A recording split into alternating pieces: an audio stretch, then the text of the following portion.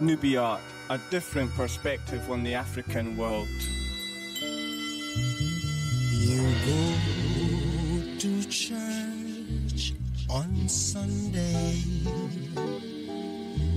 There is no love in your heart on Monday. You're trying to show that you know yourself. Purify your heart, then you know yourself.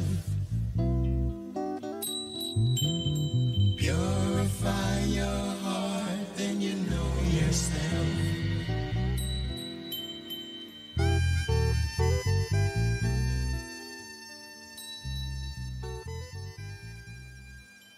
Interview with Nim Njuguna, the chaplain of Anglia Ruskin University in Cambridge and also from the Nakuru Environmental and Conservation Trust. Welcome, Nim.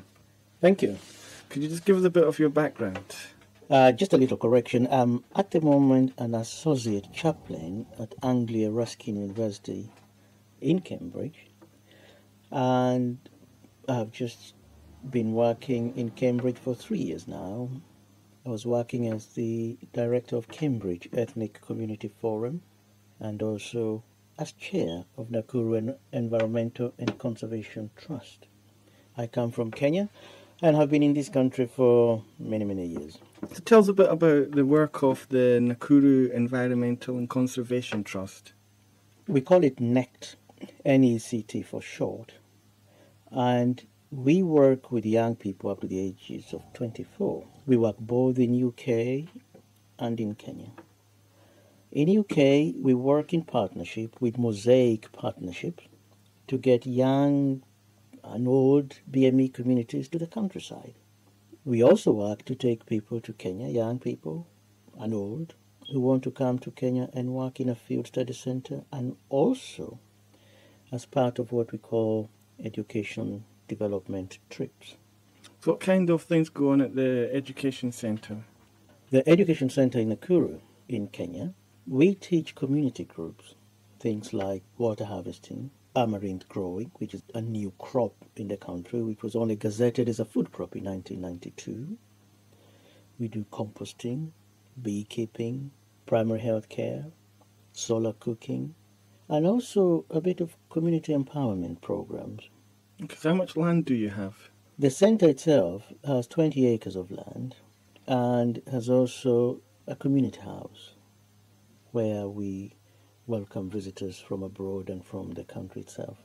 Okay, how long has that been running?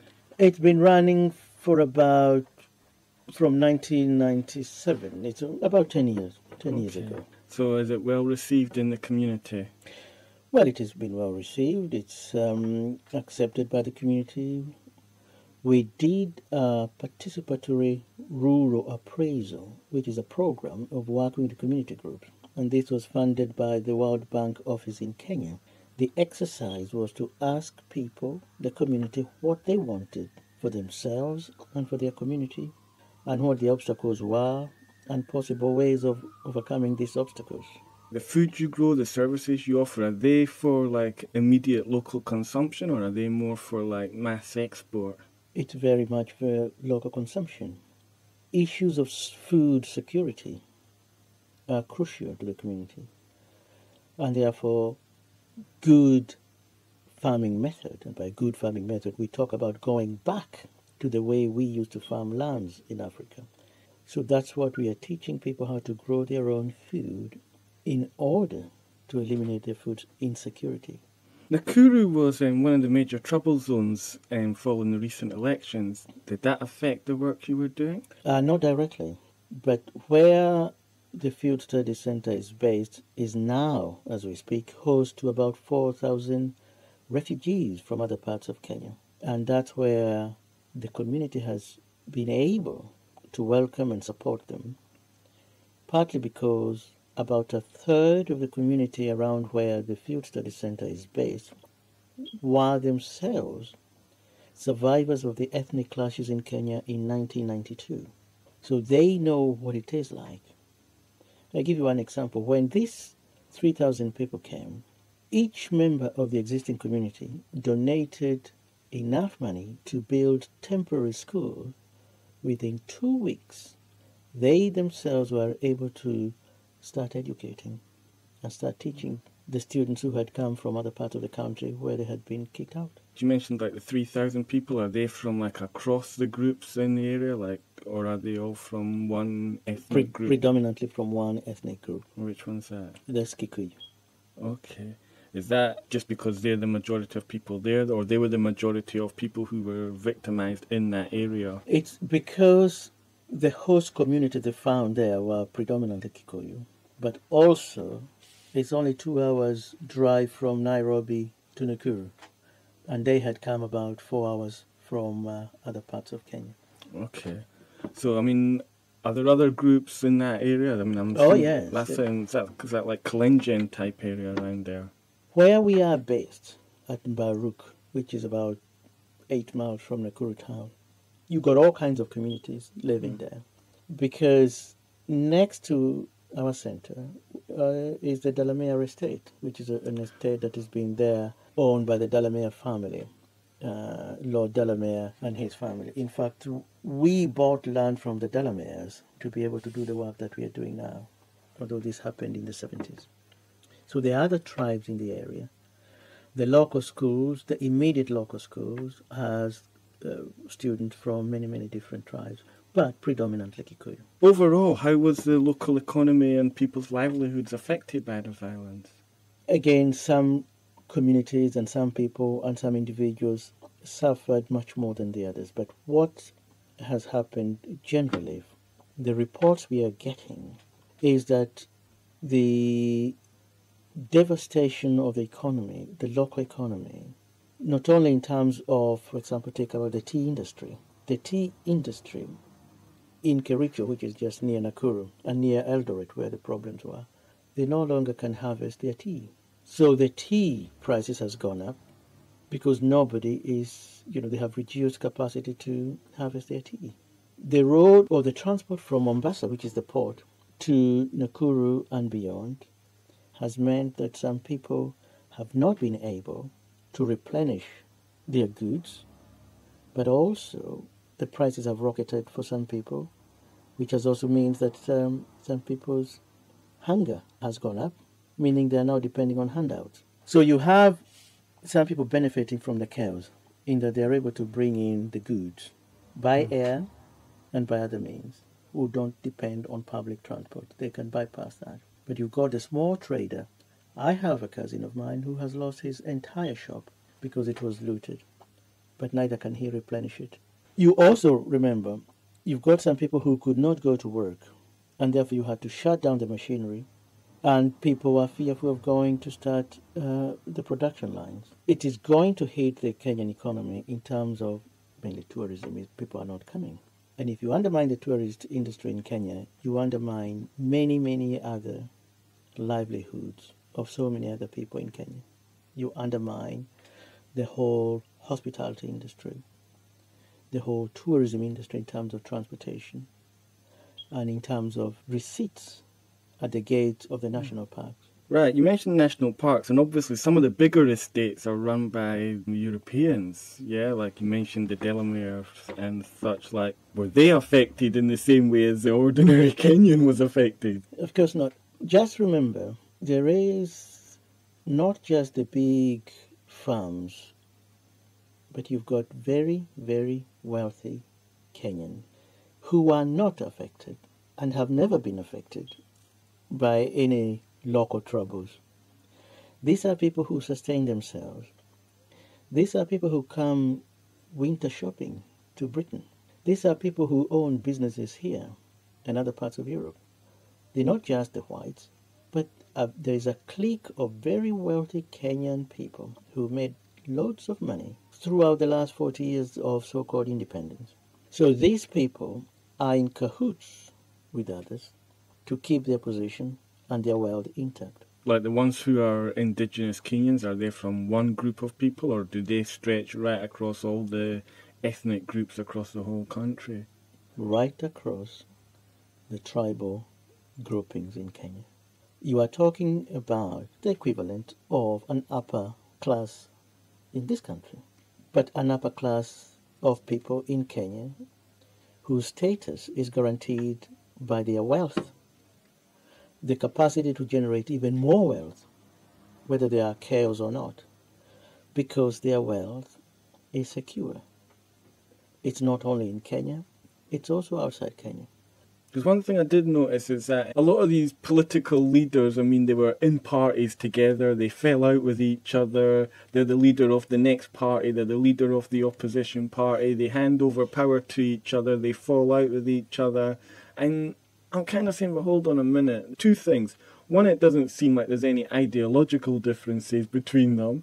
And B, it don't seem like whichever way they resolve it, there's any benefit for the ordinary person.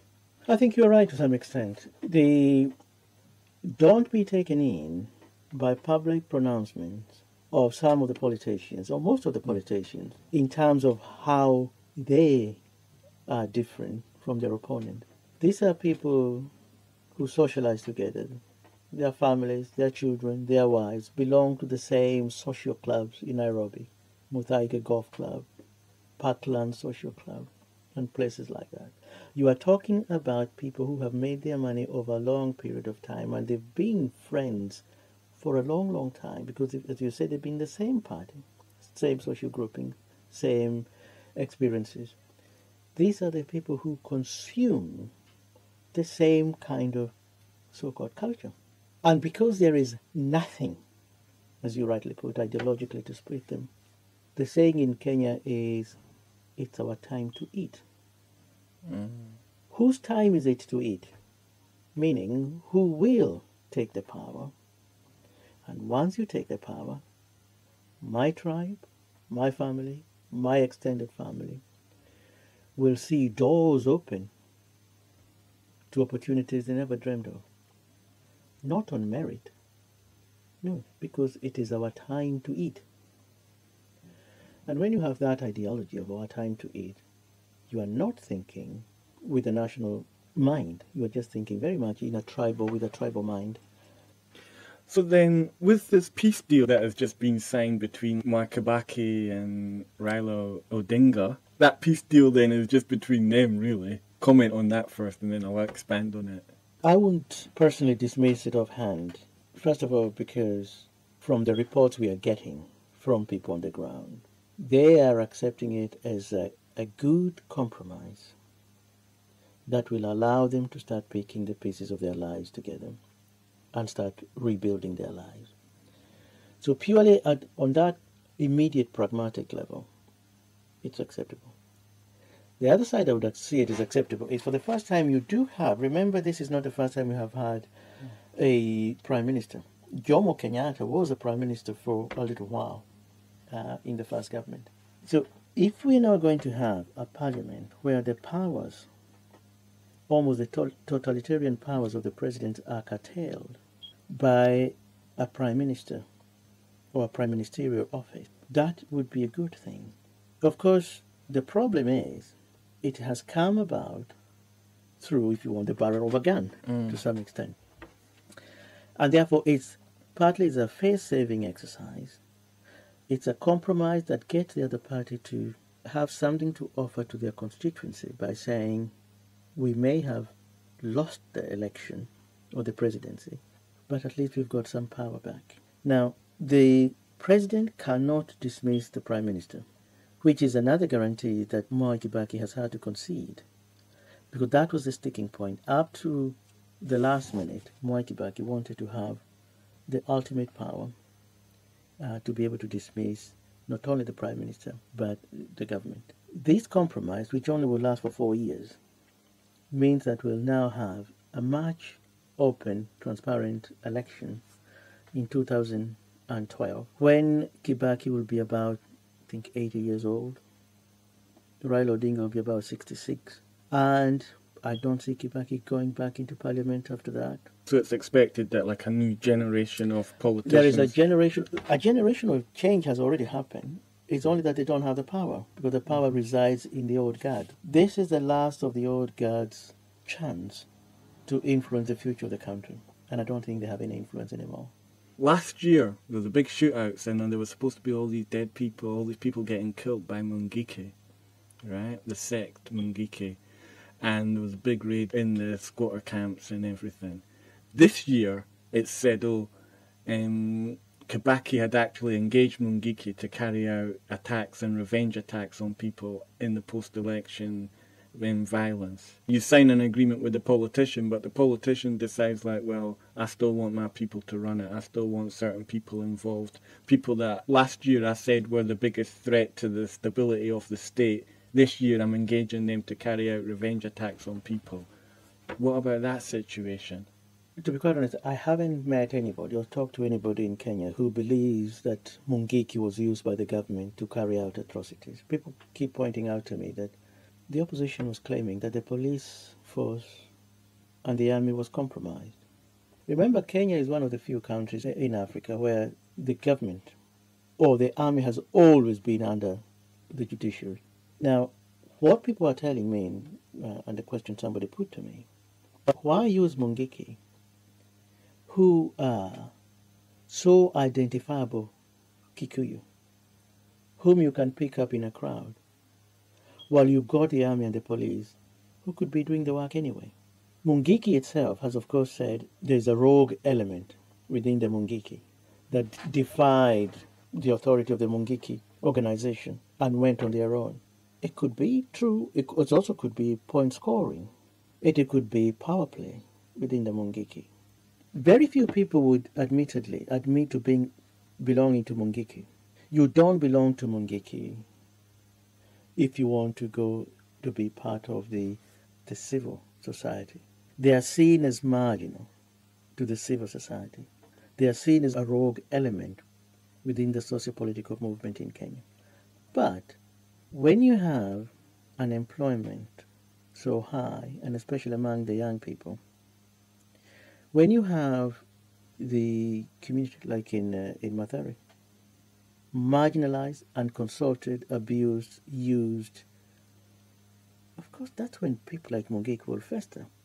If you have somebody who clearly points out to you what the government is not doing for you, and they can offer you hope, well, you can see why people in those shanty towns go for Mungiki. So Mungiki has attracted people who have been left behind by the so-called social progress of the government of Kenya. But I would take it with a pinch of salt that Mungiki went to State House and had um, dinner with the president and cup of tea or whatever they mm. had. I mean, I'll take that with a, with a pinch of salt, to be honest. Probably on the other side, within other communities, right, they have the same, you know, they have maybe those same kind of elements who yeah, they can be called on to go and destabilize whatever needs to be destabilized at any point in time. Well, yes, I mean, some of the reports coming from Eldoret was that the meetings were held among the Kalenjin people prior to the election in order to map out the response if and when the elections did not go their way. Now, these are allegations. What is not allegations is what we've actually seen happening, like the burning of the churches and killing of people. But as to the motivation for those activities, any organization, as I, as I said mm. earlier on, 1992, the Kikuyus mm. were kicked out. They were kicked out from one particular area by one particular tribe. What was that area? That is Molo, uh, Londiani, uh, which is about 60 miles from Nakuru. Okay. And that's when these people came to. Now, that is very well documented, and they're still waiting because the world jurists movement has been taking on and has been taking evidence for the last probably since 1992. So the case is still pending. Is that what is that what human rights abuse case or yep. compensation cases? Or? Yes. So most people will see that, that the peace agreement will actually bring a level of stability nationwide. Then you reckon? I don't think it's a level of stability it will stop the mayhem and the killing. And then it allows for a time for rational people to mm. begin to dialogue about the troubles. What are the kind of dialogues that are being had in the country or by people in the diaspora who are kind of looking at the situation and saying, this isn't what we want for our country, or this isn't what we even what we want for our region? I know of two groups, one called the Moderates, and um, I forget the other one, but I get their emails every now and again, who've been holding meetings both in Nairobi and in other parts of Kenya. And at the moment, they, they are at the stage of just beginning to critique what happened and to begin to understand what happened from different perspectives. So they are collecting views from different Kenyan people's societies, organizations, in order to begin to address those issues. So it's a groundswell movement. It's a movement from the ground that is beginning to try to understand what happened. Because one of the things they found very difficult to comprehend is why neighbors who had, of course, lived together for years could suddenly turn on each other. They're trying not to understand it, not at a political level first, but purely at a neighborly socio community level. Okay, because obviously, I mean, certain relationships, certain houses, certain businesses need to be rebuilt. They do. And they cannot be rebuilt by ostracizing one community. Those same communities that burn down i.e. their neighbor's area happen to be burning their own area. So those people have to come back. It's almost a mini reconciliation mm-hmm. exercise going on at the moment. So, so a lot of the refugees, right, a lot of the people who moved out from whatever area they were in, do most of them actually say, I actually want to go back to where I was immediately removed from? What I'm told, is the 4,000 people who have camped near our center, most of them don't want to go back. These are people who have said, we saw the mass movement in 1992, we've seen it now in 2008.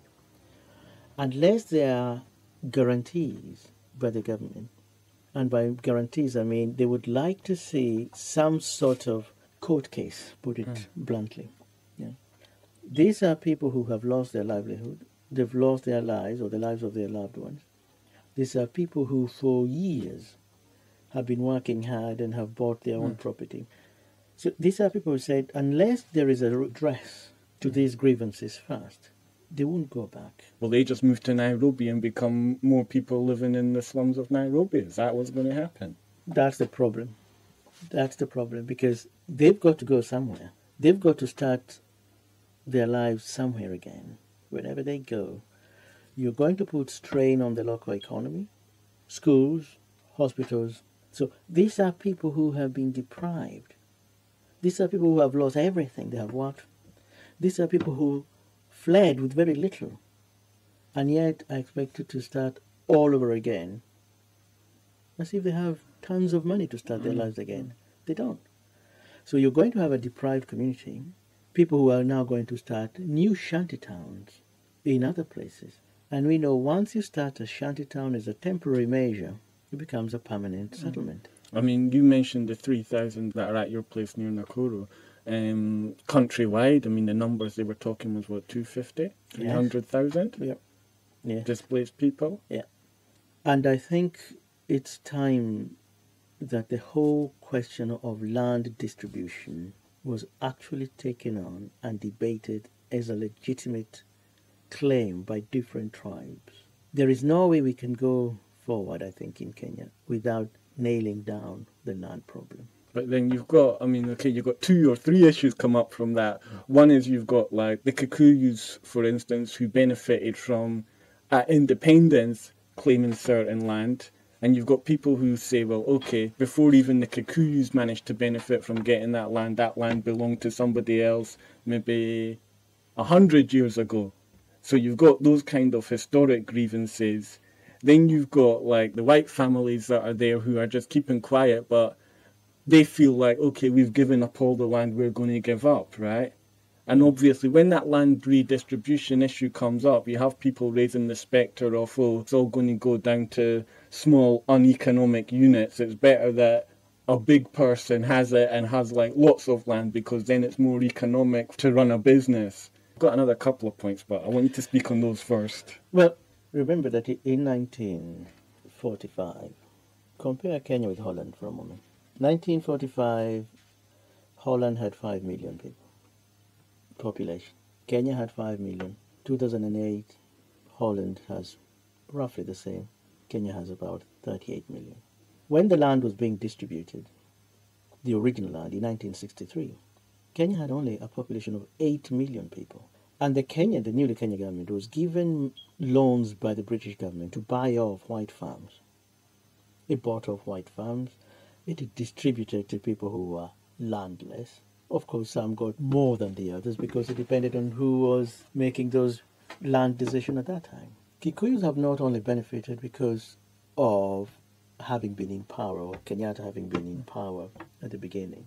The other factors, i.e., that Kikuyu land is near Nairobi. There are many Kikuyu schools and hospitals, and the Kikuyu started fighting for independence long before other people started fighting for independence. So people had, there are some, I'm not saying Kikuyu as a tribe, there were some Kikuyu individuals who were ahead of their time, but so are the other tribes. And if you look at people from the other tribes who are ahead of their times, they also have massive land claims in Kenya.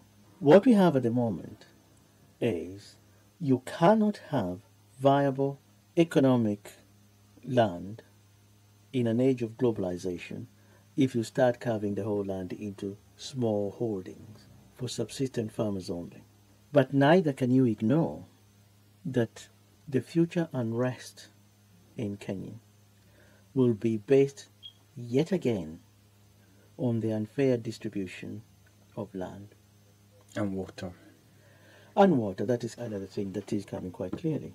So the hope lies in agreeing once and for all whether the Kenyan society is going to remain as undivided if you reject the division along the tribal lines, which means the tribal area lines, and if you accept that Kenya will be governed as one entity, then you've got to find a Kenya wide solution. It's not a central province solution where Kikuyus are, uh, or a Rift Valley solution where the Kalenjins are, or the mm. Coast Province solution where the Mijikenda are. You're going to come up with a solution that is Kenya wide. So, going back to that point, it's saying we need a Kenyan wide solution, not a tribal wide solution, because you've got 46 different tribes with 46 different areas, 46 different tribes, areas, cultures, languages. But that means that people have to accept then that there will be migrants who are not of their tribe or ethnic group, but who might even come from four five hundred miles away or something like that, but they're still within the border of Kenya. Yes, to be a Kenyan first and to be a tribal second in terms of land distribution seems to me a much better way. If you go to be a tribal first, then you have a tribal claim to your own tribal area. Mm, now mm. remember, two thirds of Kenya is arid land. Only one third is actually arable and productive. And that means that there's stretches of land that are not good for human settlement. Therefore, if you try to divide land in terms of tribal settlement, then there are some tribes who will be uh, shortchanged. You also, of course, have the demogra- demographic problem. I brought up the issue of water because one thing I heard was that these companies that are doing all the flowers and all the major, like the major export cash crops, they were actually siphoning off water at night so that they were taking more than their allocation of water and they were denying it during the day that they were actually taking that excess water. And obviously that is the, you know, that's going to bring, bring another cause for concern. When we talk about the big companies, all of them, or nearly all of them, are owned by politicians, or politicians have a say in it. So these same politicians who are at each other's throats publicly also have deals and are partners in a lot of these big, like the flower companies in Naivasha. If you ask people in Kenya, they know who owns the flower companies. Now, in Nakuru, there is a pipeline that used to run from Gilgil to Kabarak. That is about 30 miles. And along the way, there are thousands of people who could not have access to that water because it was all going to one particular university, which was privately owned. Now, when I was in Kenya last August, the community themselves, with the help of the government, have been able to tap into this pipe and use water. But you say you're talking about people for 15 years, a pipe just passed by your house, and you could not have access to water. There is a water problem. Water in Kenya is unevenly distributed, and you would need to take it from one particular area far to another one. Tell us about the post conflict work camp that you're organising. What we're trying to do with people from SAIF Nairobi, this is student in future enterprise, is to try and work with the other young people, get young people from different tribes in Kenya to come and to work together over a two week period. And what we're hoping they will do is in the morning they will be working on a community project. And in the afternoon, we will be talking and discussing and dialoguing about what happened in Kenya. These are school kids from different tribes who are being invited in at the center. Will you be including indigenous methods of conflict resolution in your discussions there? I'm not sure what you mean by indigenous. Uh, could you elaborate on that? Every group of people, every nation, every tribe, whatever you want to say, whatever you want to call them, right? They had ways of, in the past, distributing land. They had ways of dealing with offenders. They had ways of dealing with conflict within their own clan, within their own tribe, within their own nation. But they also had a way of dealing with external. So, say, the Luo might have a way of dealing with the people who were their neighbours, right? Of interacting with them, of resolving conflicts, of whatever. Everybody has that, right? Because they must have resolved disputes in the past and it must have been a way that in a mm. way that was acceptable to the people in the past, right? Because obviously a lot of people went along with it. So some of those methods must still be relevant. It doesn't mean that the one size is going to fit all, but some of the mindset that allowed people to a solve problems and b have it accepted by everybody who was within that area. Some of that must still be relevant, surely. Yes, I think I get the point, and I think um, there are ways, just like there are ways of um, looking at society from a particular perspective. However, the work camp we are planning is very much around the Kenya we want. These are the ways of dealing with tribal specific approaches to conflict management may come up. What we are trying to look at is how do you get some young people who are recently so polarized by the politics to the extent that they forgot their national identity and assumed their tribal identity, not only to celebrate it, but to hmm. use it in order to maim and kill fellow Kenyans simply because they belong to a different tribe. Our approach is very much the Kenya we want. How do you become detribalized for the sake of the country without losing your tribal culture? and tribal ways of being and tribal ways of looking at the world. So there is a tribal worldview. But how do you promote that tribal worldview in a post conflict climate where at the same time you are trying to hammer out a national identity that is encompassing, that is inclusive? And part of that is like in a multiculturalism agenda where you celebrate what we have in common and you identify what divides us without making it an issue. So we do have, but don't forget that the context in which all this is happening is a globalized society mm. where the national agenda for socio-economic political approach is to a large extent dictated by economic forces beyond the national boundaries. Because sometimes I get concerned that, you know, people say, oh, yeah, the solution is more democracy, but that democracy is a kind of like first past the post, winner takes all, I'm going to have it to the exclusion of everybody else. And that wasn't the original mindset that a lot of people governed by. Areas would be governed by a certain degree of consensus, and even if you didn't agree with the decision, you believed in the integrity of the person making the decision, and you believed that the person making that decision, the person who was going to enact the solution, was going to do it with the genuine interest of the well-being of the people. And I get concerned sometimes when I see first past the post winner takes all, and I don't feel that people feel a part of that. They don't feel that the politicians, the bigger leaders, the bigger business people are actually there doing it for the benefit of the whole nation. They're not there doing it for the benefit of the whole region. In response to your question, remember when you have a strong tribal leader, you have a strong tribal identity, you have a strong tribal culture, you have a strong community, tribal community, geographical. You can exercise a form of power and a, a form of doing things that honors the past memories and the past ways of doing things. The moment we started teaching people to read and write is the moment you started to unravel the old cultural ways of doing things. We now live in an age where people are detribalized, they're cosmopolitan. You got kids growing up who don't speak their own language. The unifying language in Kenya is Swahili. Everybody speaks Swahili. That is the medium of communication and the medium by which people should be able to get an understanding. But we have about 40 different tribal radios. Every tribe has their own radio. They package their news in their own ways. So you touch base on a national level through Swahili and English, but you're still divided. If there was anything, I would say it would have to be something like the Tutu approach in South Africa, where you bring people around a concept that will redress the issues.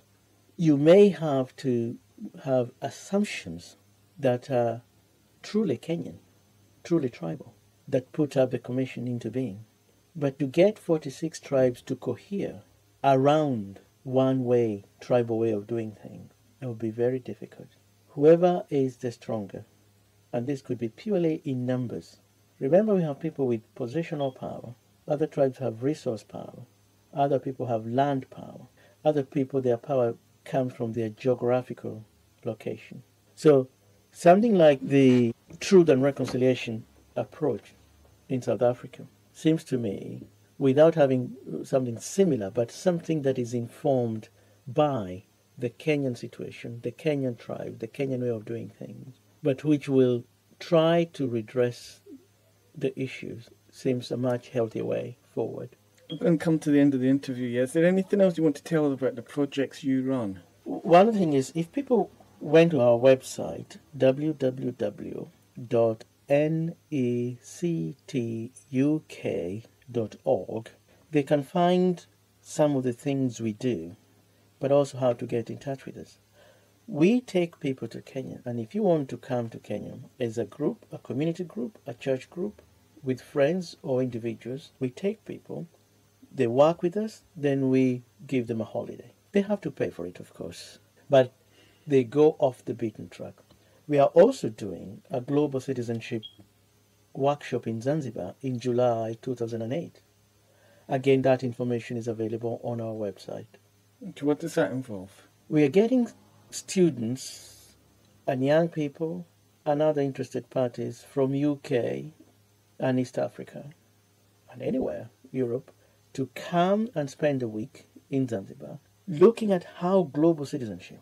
We know citizenship is now a curriculum item in the UK, and people have started looking at global citizenship. People look at global citizenship differently. It's not about globalization. That is really taking things from us as we see it. Global citizenship is how do we as marginalized individual, what I would call the underbelly of citizens, begin to address the inadequacies of the global citizenship agenda. We are now being told to be global. We consume global. But we never think in terms of global when there are issues affecting some of the communities. So the workshop in Zanzibar, it's about that. Who is a global citizen? And we think that we hammer out how social justice becomes the underpinning assumption about global citizenship and not global consumerism. Okay, and finally, what are your hopes for Kenya? Oh, Kenya will pick itself up, dust itself, and looking back, I'm sure we'll be surprised four years from now when we look back at the next election. Probably we will say what we have learned in Kenya this time has been the best lesson. Not the crime, I know it's, it's been painful. The lessons, if we extract lessons from what has happened in Kenya after the last election, And people have, for the first time, begin to have a real dialogue about real issues. And if we can get the old guards to relinquish their power, most of it manipulative power, if we can get people who have an internationalist outlook without selling to the globalization agenda, we will see that these lessons learned, as painful as they were, they may be the best thing that begins to heal Kenya and the Kenyan society, and ultimately the people of Kenya. Okay, Nims, thanks a lot.